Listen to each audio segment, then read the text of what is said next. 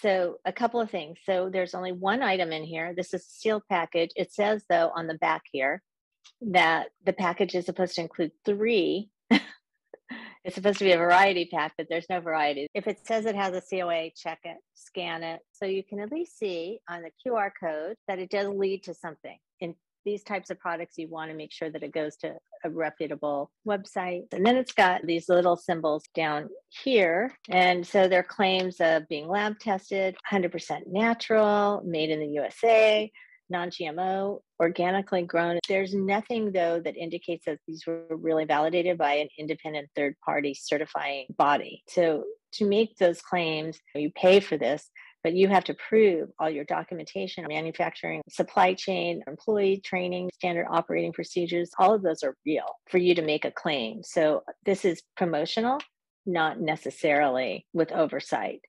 Even though it goes to a website and even though it goes to a certificate of analysis, this product is mislabeled because it's supposed to be a variety pack and there's only one item, not three.